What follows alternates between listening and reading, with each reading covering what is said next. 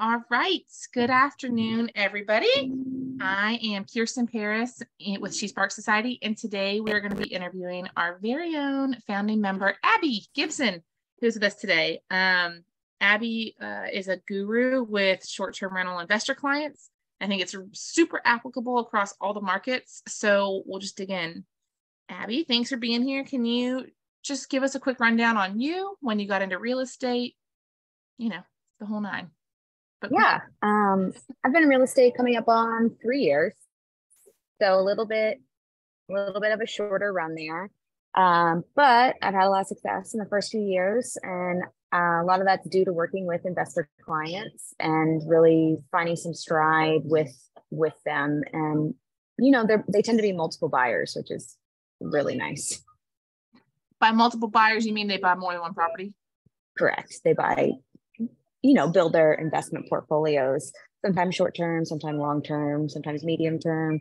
Um, sometimes they're buying primaries a couple of times. So depending upon the buyers, you know, they use a, a variety of of tools to get to where they want to go.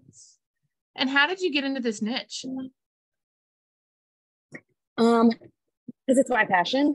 because I am an investor myself. I um, just turned all of my the goal of mine to get a certain number of properties to turn them over to a property management company. And we're doing that this month, which feels really good. We're going to buy at least one more this year, maybe two, um, considering our options with buying another primary and moving into that. So we can put as little as three and a half percent down, or just going ahead and buying a straight investment. Um, now that I've been an agent for enough amount of time, we can use my income to just have the loan in my name. You can have a certain number of loans in everybody's name if you're going conventional lending.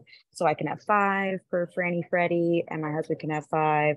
Once you hit 10, you have to get outside of the conventional lending um, world, which, you know, if you buy one every year or every two years, you'll have 10 and you should start being able to pull equity out of them enough to buy more. Yeah, that's a good point. So working and, and you talked about different types of investors, short term, medium term, long term. Do you find that you have niched down specifically in short term or do you do you typically just work with investors across the board? I will say investors across the board. My preferred, my true avatar buyer, um, and one of them is actually on this call, would be somebody who's kind of in the move up category, ideally a woman who um, is looking to build wealth for her family long term. And a lot of times that looks like a long term investment, buying a home, moving into another home a couple years later, turning that into a rental and doing that a couple of times. But once you start getting kids in the mix, that gets really complicated and yeah. really difficult. So you kind of have to start going pure investment route in order to not having to keep moving your family. Um, and our area is so well known for short term rentals. They do so well, and we're not as saturated as a Gatlinburg or some of these mm-hmm. other, you know, high desirable short term rental places that you can still really make money in hours as long as you're doing it right and have realistic goals. So, how is it? Um, how do you? What do you think the biggest differences are from working with a traditional primary home buyer versus working with an investor? it's all about the numbers. With an investor, all about the numbers. They might see the property, they might not see the property.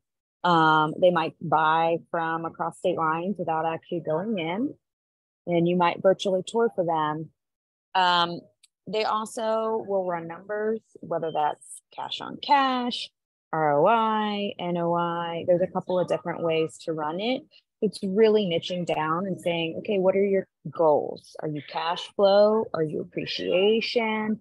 What are your long term goals? How do we vary across the different rental spectrums to diversify your portfolio? So if short terms really take a hit for a couple of years, which they're doing now, they were incredibly hot during COVID. They're talking like 80% occupancy. People were making a ton of money off of them but a more traditional occupancy rate in our area is like 65 to 70%.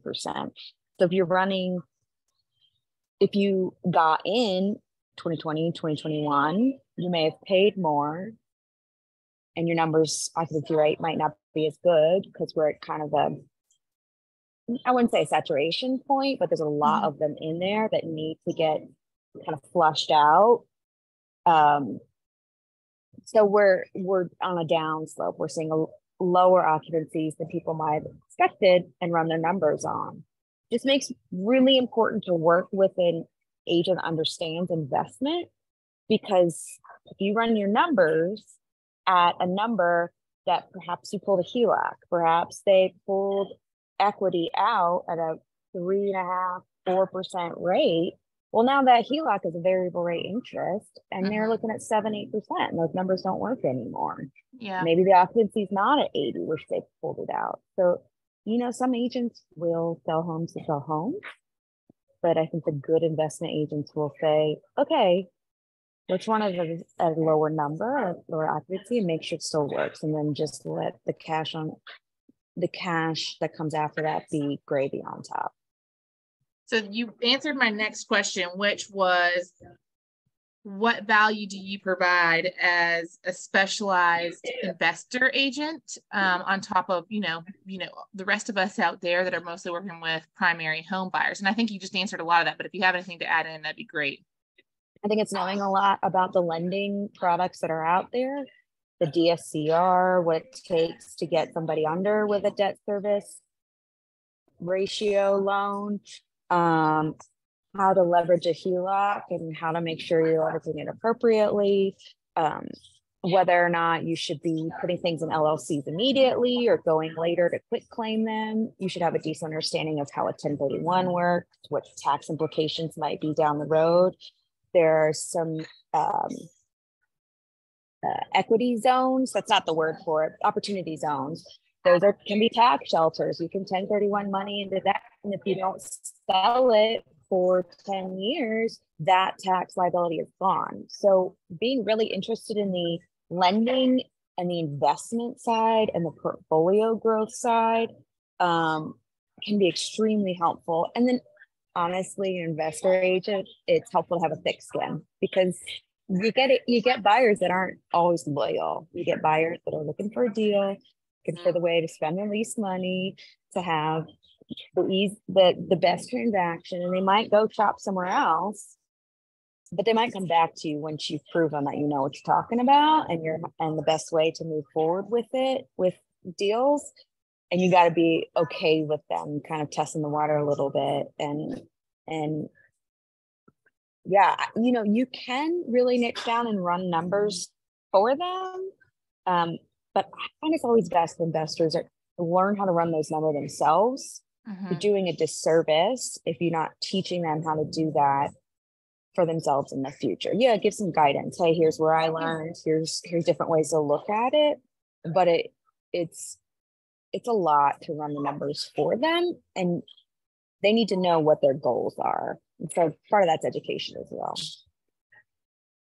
Exactly. And have you found that um like have you built a team not like a team of agents necessarily but a team around this industry like do you have a lender that you can po- plug your investors into do you have a, a, property manager that you can plug them into like have you created that for your clients yes yeah, so i've been working on a, actually a team of of showing agents as well because we have people that come in and want to buy Western North Carolina. They're looking high country, Boone, they're looking deep west, Bryson. We have some target areas in Western North Carolina specifically, Lake Lure, Mars Hill, Greater Asheville, Carson City Maggie around the national park and in the high country, um, Boone and Beech. And so having people you trust out there to show or split deals with, depending upon how you're structured, is really helpful to not run yourself ragged. Yeah. Um, outside of that, you know, most of these people really want to self manage if they're going to make the most money. Because short term yeah. rental investors, specifically, oh, um, lost my earbud. Uh, they're going to pay 20 to 25% to have somebody else manage that. That's so a lot of profits. Those are, there are, but they're all gone if you spend. You That's what I'm saying. That's a lot of money. It. That like yeah. eats it up. Yeah. So you know, do I have, yes, I have vacation rental management companies I could recommend them to, but most want to self manage as long as they can. Yeah. Until they build a bigger portfolio and want to pass it on. It's really not passive. People like to say it's passive, but you still got to be involved. You still have to put your your things in place. Um, a couple different lenders depending upon whether they're going to go DSCR or if they're going to go a different route for lending. Um, and then cleaners and people of that nature that I can recommend to reach out to. Um, but that's sort of a, a faster changing group of people to keep up with. So those are a rotating a rotating group I can recommend. That's a good point, and it's so important. I work with some short some um, investor clients as well, and the first thing they always ask me, especially if they're not in this market already, like if they're you know like I've got one now that they're investors in Charleston, they're investing in Western North Carolina now. Who's your favorite cleaners? It's it's yeah. such an important question because finding somebody that you can rely on, especially if you're an out of state investor, you need that. Um, so that's super valuable if that's something that you can provide to your clients. There's a um, variety um, of tools that I also recommend as being extremely helpful. And I might be jumping ahead on your on your question. I have tools question on here. You are, but that's okay. Go ahead. um, you know, AirDNA, I pay for it for the state. I find that's extremely helpful because even if I recommend an agent for them to work for in a Boone or in a Bryson, and I could even run it if we're looking out in the out in the coast, and I have a, a an agent out there that I'm working with, it helps me get a larger percentage of the cut of the deal because they're still partially my client instead of yeah. pulling referring them out. But then you can look at the comps that come up on AirDNA and Day and say, okay, this one's good. Okay, this one's not great. Let's adjust our numbers based upon this.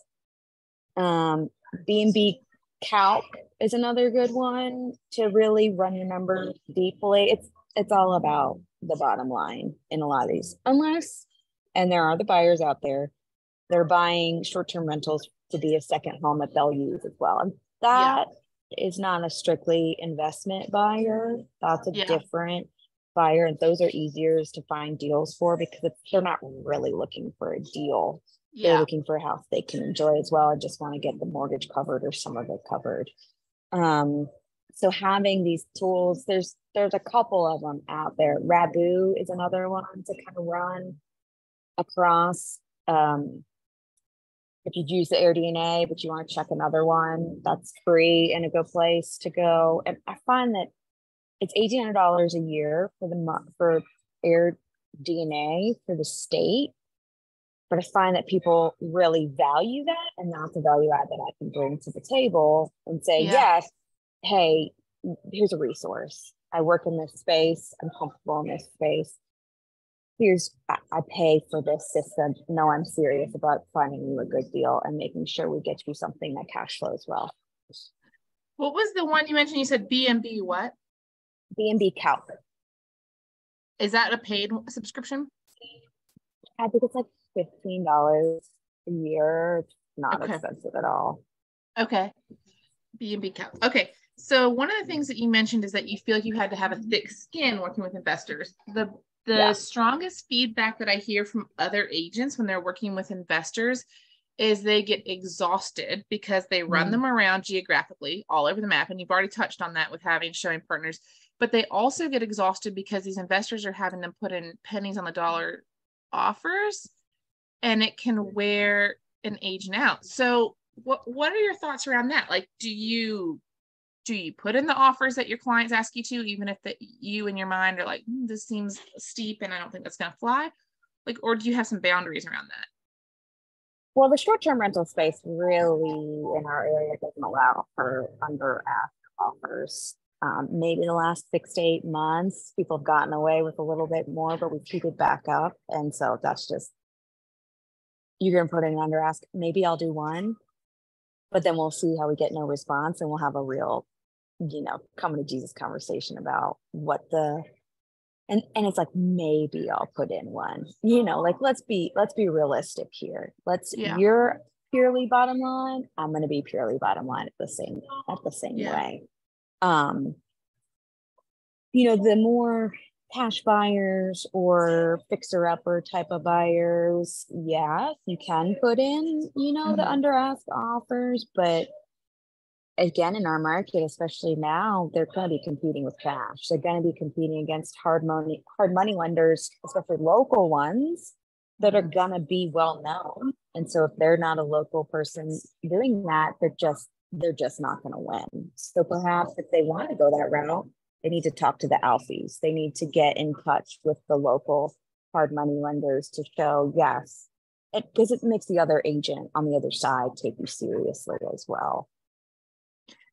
Yeah, and um I just totally lost my train of thought on this one. Oh, but I think what's important for agents to remember when working with investors, and you just said to it, like you've kind of set your boundaries, you have a come to Jesus. But what's important for agents to remember is like we're the market expert in our in our market. Mm.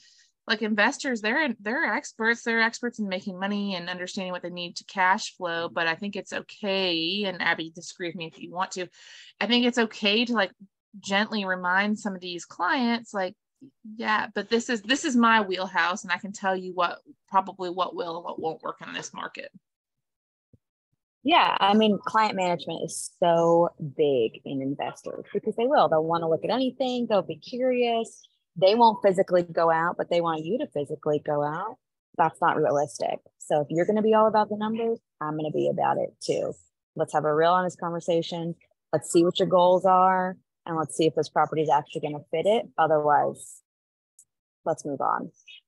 A lot of them are fly by night, but easily distracted. And so saying, okay, you're very interested in this, let's do a deep dive financially before we go show. And if you're not willing to do that, you're not showing seriousness in what you're in what you're doing.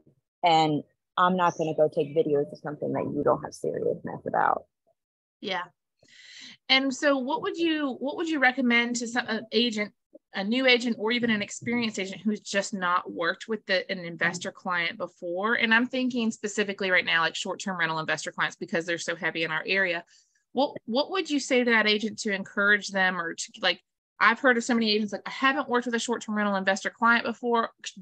Can I refer this out? Like what would you encourage that agent to do? Well, decide if that's something you want to niche in or not, and don't be afraid to refer out. I mean, you you can do a couple, but you're gonna learn real fast that they're gonna run you ragged, and yeah, that's fine to do that. To feel is this something I want to be involved with, or is this not something I want to be involved with? But then you know, dive in, do what it takes to be good at it, or or get out. Don't don't play halfway. Do it or or don't that, that's my advice. I'm gonna um just grab my charger real quick, but I'll be here. You're welcome to ask questions okay. maybe from the group. Yeah, does anybody have any questions right now? I've got a topic I'll just dive into if not. So and Abby, if you can still hear me, I hope. But you know, one of the things when I work with investor clients that I find is very different than working with a primary home buyer is I find that it just requires a lot more due diligence. I'm talking to the county. I'm talking to the city. I am having the attorney look at the deed and any restrictions and going back and looking at old deed restrictions. Is there, do you find the same thing? And is there anything else that would be, you know, for agents that are working, that are new to working with these investor clients anything else that they should be looking at in the due diligence period that they may not be looking at for a primary home buyer. Are you talking about after putting in an offer? Yeah, like once you're under contract. Once you're under contract. Yeah. Um, to things that you wouldn't necessarily look at for a primary? Yeah, so like I find like checking with zoning and making sure mm-hmm. there's no um, regulation, and I would love to do that a lot of times prior to putting in an offer. But as we know, sometimes in our market, and if it's a good short-term rental property, chances are there's already a deadline on it, and you may not have an opportunity to speak to the necessary party. So yeah, sometimes I do that during due diligence. Yeah, I mean, I think you touched on it with the attorney that that is so important. The HOA docs, we got to find out who's the president of the HOA. We got to find the temperature of the HOA. Are they going to change and dysregulate STRs in the near future? You don't have yeah. to do that, but that's what a good agent would mm-hmm. do. Check with the city councils or go to the city council meetings, get a feel for the temperature in those town meetings. And that's not necessarily during due diligence, but that's just being informed and up to date um, in our local market, Woodfin recently changed the rules. And knowing the temperature of where the market the the area is going is going to be really helpful. Ideally you stay out of any kind of an hoa. Ideally you stay out of a city limit mm-hmm. because you're much more likely to not have something come down in the county. Um, but you really really got to be informed on the regulation to do service to your clients yeah. And one of the things that I've found too, and I'll just share from personal experience, just don't take the listing agent's word for it. There has been, we all have looked at the listings where it'll say short term rentals allowed or no restrictions. I just would strongly encourage you to do your own due diligence in that regard.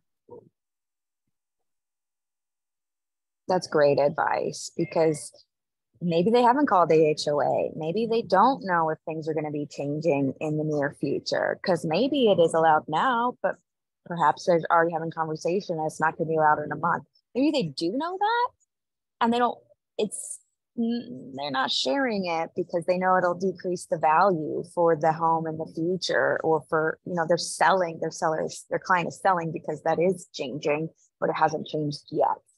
Um, yeah. You're right. Never take the list agent and what they say at face value and figure out for yourself. I think another big one we find in our area is septic systems and what that means for bedrooms and how many people that can actually accommodate. So mm-hmm. Bringing being super diligent about your septic inspections and saying, okay, could this be expanded? How big is the tank? Like really getting nitty gritty because if they want to maximize the property, they're going to want to put as many people in as they can that yeah. the house reasonably fits. And that might mean pumping more, or it might mean expanding if possible. And, you know, really being on top of those sort of things is essential for the short term rental space. Yep. And I learned that the hard way. Um, I say that like do your own research because that's something I learned the hard way as a, new, a newer agent in my first year. And um, at the end of the day, it was still my responsibility. Like they were my buyer clients. I went with the listing agent word and it was still my it was my problem because I didn't double check. But anyway, so just do that due diligence. So the like I feel like right now the other hottest topic just in the real estate market for realtors is lead gen. Um, and finding clients. So we've all heard the term the riches are in the niches. Do you find that like because you've niched down into something, like is that the majority of your business? Do you find like you have a constant flow of you're filling your pipeline consistently because you've niched down?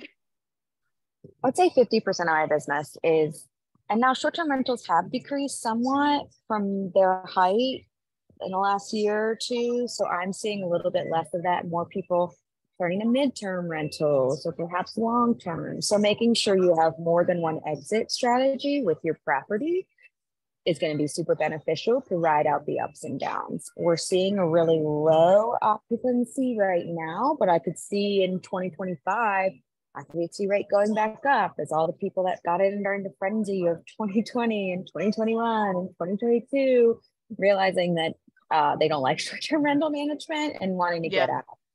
You know, um, really, really focusing on the properties that are unique and they are more expensive now in our market, but you're never going to be failed by views and you're never going to be failed by a creekside, you know, a cabin, but kind of thinking outside the box as far as that goes.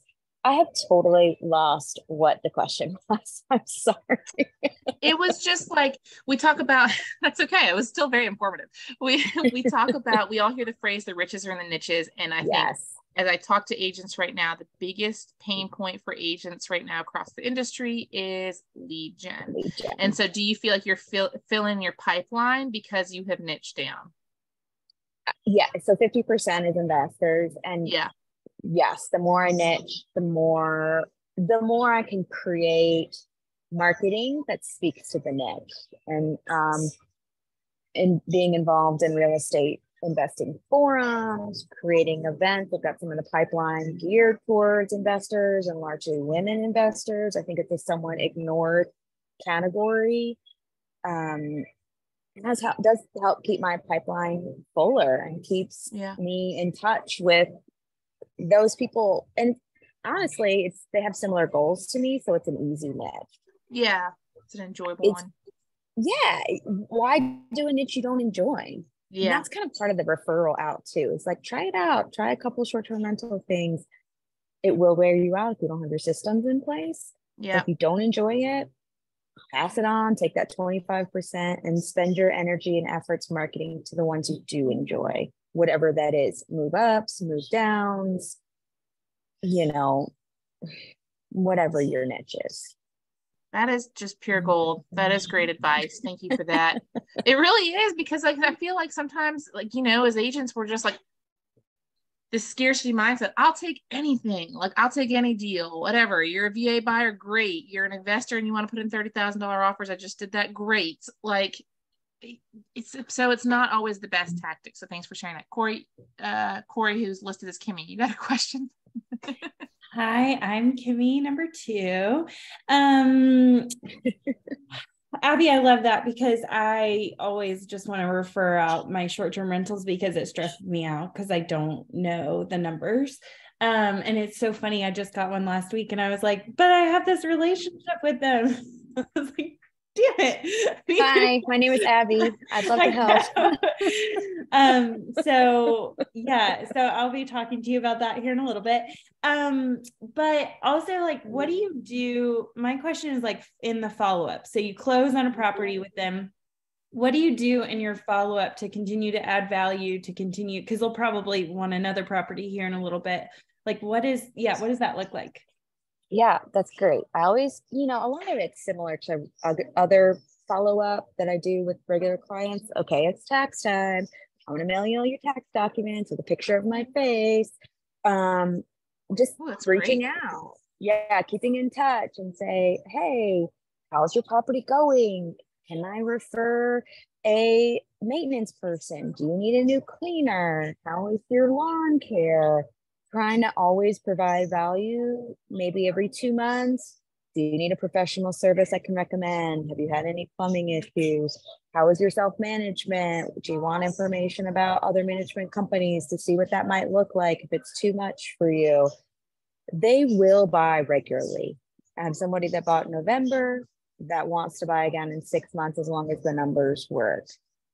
So stay in touch. Whatever it is, whatever makes sense, whether it's tax documents, holiday things, investment, like maybe there's a tax law coming down the pipeline. I don't know how many of you, and this is not necessarily investment related, but the FHA is changing its down payment requirement or its PMI requirements. That's coming the pipeline. It's really going to affect first time home buyers. How many of you are passing that along to your first time home buyers if that's your niche? You know, find those things.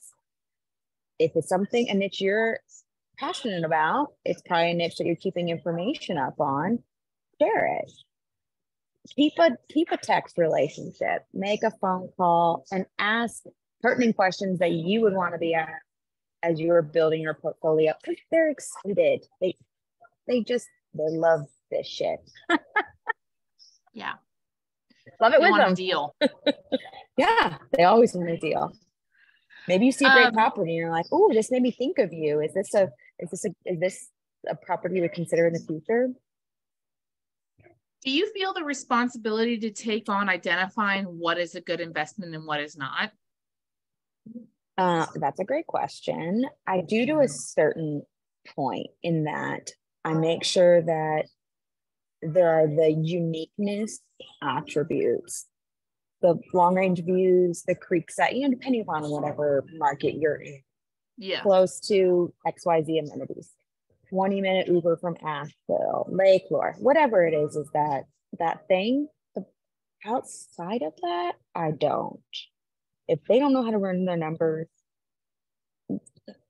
how serious of an investor are they? And that's where it's like I point them to the resources to learn to run it. And if they're not willing to do that, they're not willing to actually buy. A big issue with this clientele is analysis paralysis. Mhm. They'll want you to go look at 20 properties. Are they ever going to pull the trigger? I don't know. So if they're not willing to put in the effort, I'm not willing to as well. It's not my job to do that for them. Yeah, I keep hearing this with you, and I think it's so important. Is you are pretty, you have pretty strong boundaries with these clients. Um, you know, like what you will do. It's the only way to survive them, honestly. Yeah, that's kind of what I'm hearing, and I'm telling you, I like that is the bit when I talk to other agents about like, do you work with investors? Do you want to work with investors? Like, oh, they're the worst. They run me. They wear me out. You know, but it sounds like you found a way to make money with them and you know preserve your sanity at the same time yeah there's a there's a loyalty level that you can give to them but they've got to they've got to give it back and yeah if they're not willing to put in the effort i can't put it in for them you can't want it more than your clients you can't want it more than your clients so make yeah. sure they know how to do it they're taking the steps you're guiding along with them and then you know provide the support appropriate for the amount of effort they're putting in. Can you talk about some of the unique ways that you help find a good property for your client? Because uh, you're like master MLS scourer. I don't know about that. withdrawn. like you really I are. Do, I feel like pretty good about this. I do love to hunt expires withdrawals for sale by owners. And that might just be like it's a puzzle. I don't know if there's any real tips or tricks I can give outside of keep an eye keep an eye on that thing. Don't be afraid to cold call those people and I don't. There's no secret. Hey, I got a buyer, or I might have a buyer. Like, are you still interested in mm. selling? Is that kind of how your conversation starts? Oh yeah, absolutely. Yeah. I've got a, you know, I've got a buyer client looking for a property just like yours. You know, let's talk about it. And if it doesn't work for your buyer client, you may have mm. just maybe just picked up a seller. That would be ideal. Yeah. so that kind of leads me into my next question. I have just a few more, um, and then we'll open it up. Do you find that working with investors is it pretty buyer heavy? I think as a somewhat newer agent, it always starts buyer heavy. Yeah. Um. So yes, you know, for me is maybe if you get a, a, client that's been working with investors for 10, 15 years, they're seeing more turnover. Sure. Um, but different investors will have different goals on what kind of returns they want and how they're measuring those. And so my mine have tend to be longer holders. Let's let's get as much money out of this as possible until there's a tipping point and it makes more sense to reinvest it based on the equity. So largely, yes i've been buyers. Okay. I've, I've sold a couple of short term rentals, um, but so far, mostly buyers. So, how do you fill your pipeline with your investor clients? Where do you find them? Um, I'm a big BiggerPockets person.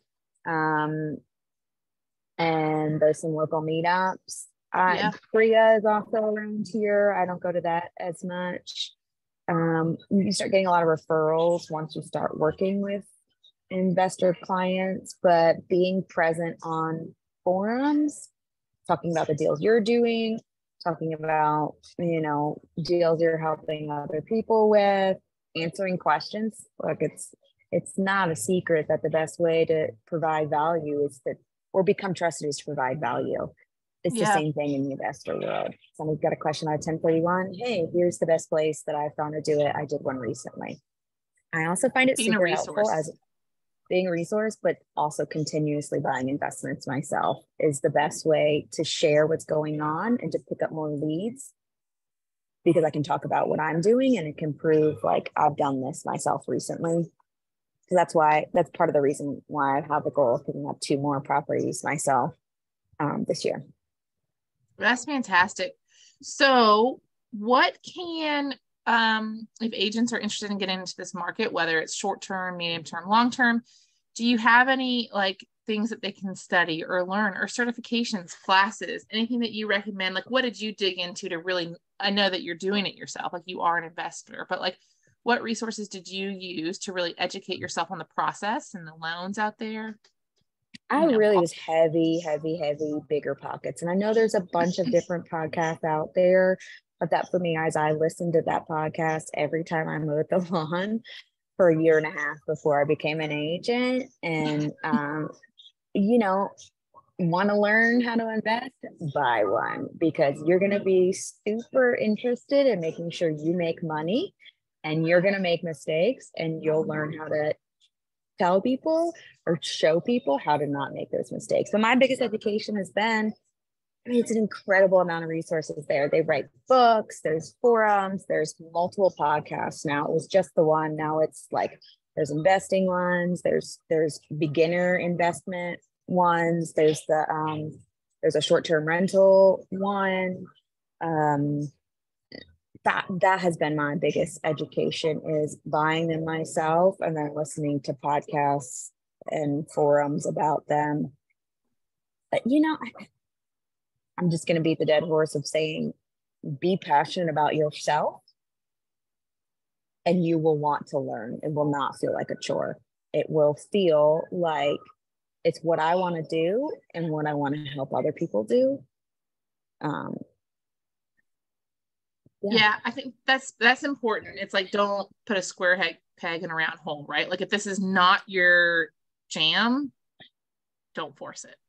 Yeah, you know? move on yeah, find what is your jam. So that has been great. That is a ton of really good information. I really appreciate you sharing it. Does anyone else have any questions or comments for Abby before we let her go? Because I think she's got a meeting at four. I so appreciate this. This is awesome, Abby. Nice to yeah. hear from you. And this, I mean, you know, we talk on the regular, but it was nice to hear this and hear some great questions. Oh, thanks. Can I say my recommendation for everybody is to pull a HELOC on your primary? Girl. recommendation for everybody. I, am taking pull my HELOC upstairs so you can say to Anthony. oh my God. That I do I do talk to significant others regularly. I'm like, hey, can you talk to my spouse? And sometimes it's husband, sometimes it's wife, sometimes it's significant others. Abby uh, yeah. talk to my spouse. we and it's we, always we did it but i you know expensed everything. So i only made like $10 so we had to base it off of xander's salary. So i guess we could get like a 90 $90000 mobile home. Yeah there i mean that's a are you saying that you have no tax no no income yeah i had no income right because i expensed everything but we did get 90000 so we can do something with that right something You can have a yeah. DSCR loan. Yeah, you can get a DSCR loan. Those are going to be more expensive um, interest rates, but the goal is always uh, refinance out of them. The best thing you can do right now, if you can manage it, in my opinion, the cheapest money is an arm, a primary primary loan arm. Now you have to buy it as your primary and turn your past one into a rental, which not everybody's willing to do, but that's the cheapest money that I am aware of at the moment. Turn that's my great. current turn my current house into rental. Do it. Oh yeah, no, not. I love this. Yeah, I am here. You're that. too emotionally attached. I am so emotionally attached to this. Y'all, I will send you the one. I will text you. I won't like take up Zoom bandwidth to show you this, but I 15 minutes before this call sent one to Anthony. I said, let's move and STR because I was talking to Abby last week. I looked at my STR numbers, like, well, shouldn't have looked at those because now I'm like, where are we going? yeah, we bought a new construction home in April 2021 and just scouted another house to buy this weekend. I don't know if we're going to pull the trigger. We went kind of bougie on this last one and I'm really comfortable. But when you look at what you can rent for and the equity you have in this market, it, it's, really expensive not to do it. I, I mean, that's not a like a regular. Okay. Also, I guess my other piece of advice, if you haven't read it, read that Poor Dad, basic mm-hmm. investment advice you can give. Rich Dad Poor Dad. Buy assets, not liabilities. That's why I drive somewhat of a clunker. Paint's chipping off 200,000 miles, but I have a bunch of property and just laid out my assets for my estate planning, and uh, we're looking pretty good. That's, That's awesome. great. I've heard a few people recommend Rich Dad Poor Dad, so I'll add that one. In my I read about half of it. You don't like have to read all of it, and also Richard Kiyosaki is a political figure, so just push that away if you don't believe what he talks about. I got it. Well, that was super. Abby, thank you for sharing. I think this is so great to get to know you better. Um, you had huge success. And for everybody who does not, I know most of you on this call, but anybody that's going to watch this recorded, Abby, you know, has been in this for three years and she didn't toot her own horn, but she's had massive success um, as a newer agent. So it has worked for her. The proof is in the pudding.